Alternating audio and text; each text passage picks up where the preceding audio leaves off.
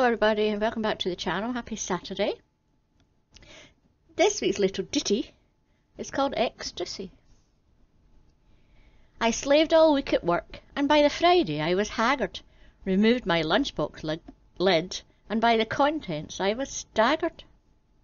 Within my two-foot lunchbox, filling all from end to end, was the mother of all bananas, with an 85 degree bend.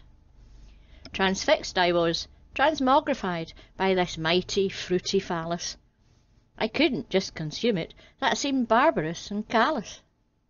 So I snapped from every angle, photographing yellow peel. Bit once, was hooked, uneasiness I soon began to feel. It was just too big, too yellow. The rich taste was just too strong. From bliss I passed to horror, when I realized what was wrong. This Narna was unnatural, sending shivers through my bones. Some evil, grasping capitalist had laced it with hormones. They do the same to chickens, enhance the flavour to make you buy one. They've got no necks but tree trunk legs, like they've been pumping iron. I dropped the fruit and stared aghast at fingers I'd been licking, outraged that someone spiked my fruit with hormones from a chicken. Or was it strange preservatives that swelled the fruiting pulp, or steroids overpowering me at my first delicious gulp?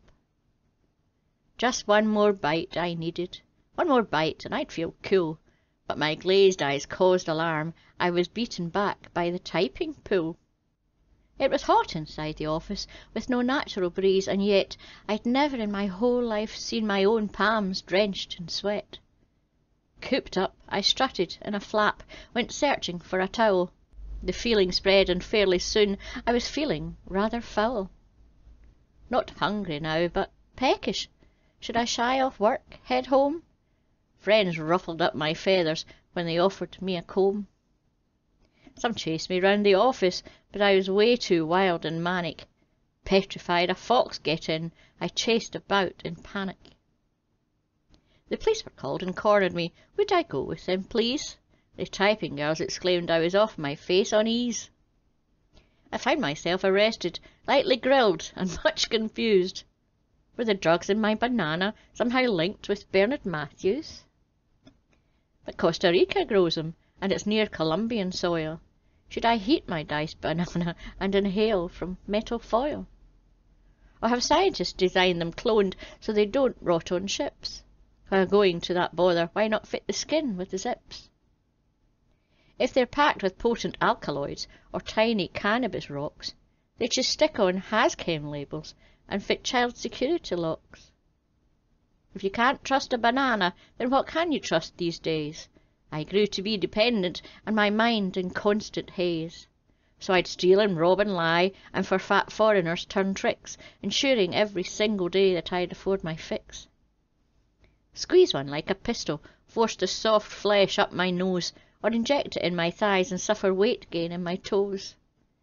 But I'm fighting now, confessing, in a group of future bruisers. Abusers! Confronting it shows courage, proves we're not a band of losers.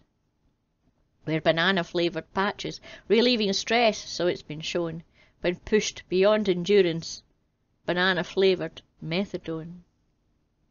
We confess and bond and primal scream, rebirth from a plastic womb. The group is so enlightened, like Betty Ford in Ilfracombe.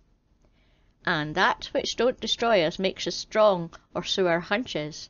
So we nurture strength of spirit, cause life's problems come in bunches. The end. Don't forget to like and subscribe, and press the wee bell notification.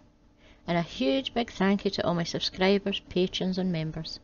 See you next week. Bye bye.